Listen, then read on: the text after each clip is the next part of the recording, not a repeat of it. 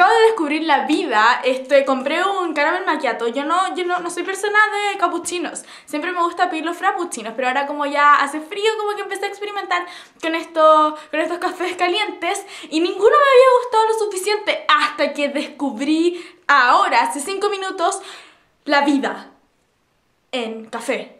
En un tamaño alto. No, no es alto, es grande. O 20 Hola mundo, soy Carla, bienvenidos a My Storybook y hoy les traigo un video recomendándoles libros invernales. Son solamente 6 libros que según yo no todos están ocurren en el invierno, pero como que puede que el invierno sea un elemento importante o puede que por alguna otra razón yo encuentro que son aptos para esta temporada. El primer libro que les quiero recomendar es Aristotle Andante Discover the Secrets of the Universe de Benjamin Alire Science. Este libro es uno de mis libros favoritos de toda la vida. Lo leí el año pasado y me enamoré, me encantó. Es básicamente de dos niños que se conocen y es de su amistad y de ellos creciendo y es una historia de autodescubrimiento que a mí me encantó preciosa, yo lloré al final del libro, pero por felicidad, me cayeron literalmente lágrimas. La lluvia como que juega un rol importante en estos libros porque gracias a esta como que suceden varias cosas, suceden varias cosas,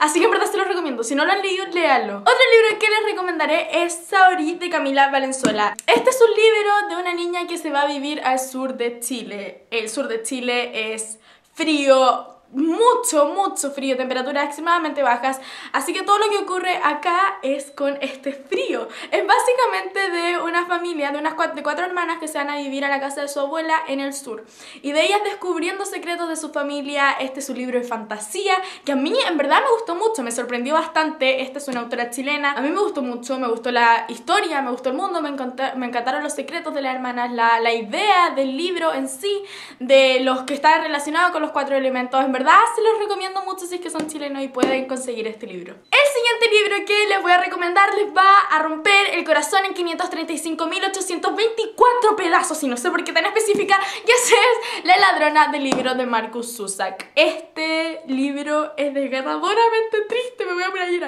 Es de 1931, periodo de Segunda Guerra Mundial, en Alemania, nazis. Es básicamente de esta niña que vive con sus papás adoptivos y el amor que ella desarrolla eh, el amor hacia los libros.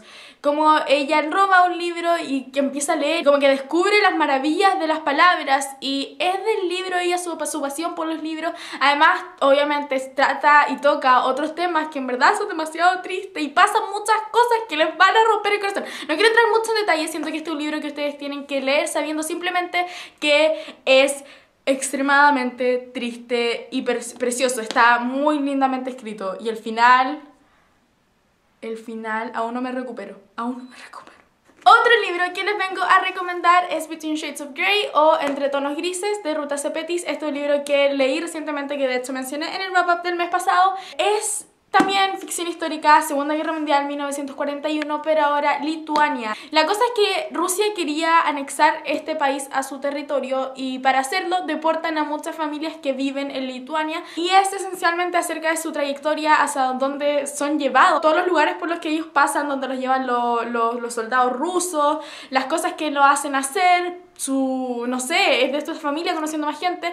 Es muy triste, es una realidad desconocida, una realidad desgarradoramente triste también que siento que el mundo debería conocer. Ahora, un libro no tan trágico que les vengo a recomendar, Unearthly o El designio del ángel de Cynthia Esta es una trilogía y se convirtió en una de mis favoritas porque es espectacular. Básicamente, ángeles vienen a la tierra y tienen un propósito. Y ellos descubren cuál es su propósito a través de un sueño. Y es de esta niña y ella soñando su propósito y nosotros vemos cuál, qué es lo que hace para lograr esto que fue enviada a la tierra a hacer.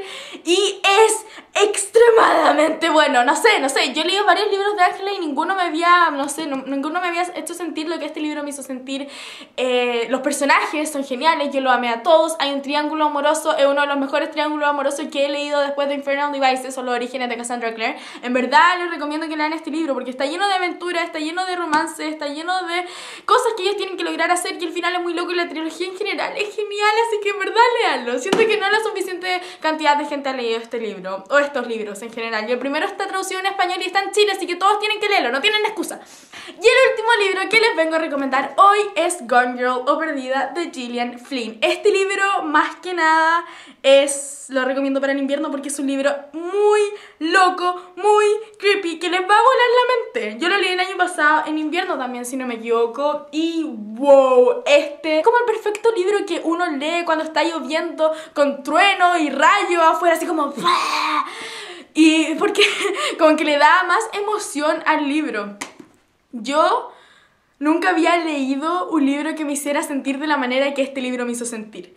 Gillian Flynn tiene un don, un don que en verdad puede que sea peligroso poseer porque tiene el don de hacerme sentir miedo cuando estoy leyendo. Mi corazón latía más rápidamente cuando sucedían ciertas cosas y a mí me causaba, no sé, me perturbaba mucho de vez en cuando leer este libro, como que quedé traumada después de hacerlo. Yo cuando leí este libro no sabía mucho de él, así que voy a ser un poco bastante vaga para que ustedes descubran todo a, a medida que vayan leyendo el libro. Es básicamente de este matrimonio y que las cosas no han ido muy bien por un largo tiempo ahora y el día de su quinto aniversario la mujer desaparece. Entonces el esposo eh, busca a la mujer, llama a la policía, acuda a la policía para que le ayuden a buscarla porque parece que está desaparecida. Está narrado en el punto de vista de ambos, de él y de ella. Y léanlo porque está lleno de plot twists y a muchas personas no les gusta el final, pero yo encontré que no podía terminar de una mejor manera. Léanlo ahora ya. Y eso es todo por hoy. Espero que hayan disfrutado estas recomendaciones y ustedes y si ustedes tienen alguna para mí, por favor no duden en dejarme saber abajo qué libros me recomiendan porque igual estos ya los leí y quiero leer otros libros para el invierno. Y sí, muchas gracias por ver. Nos vemos en el próximo video. Adiós.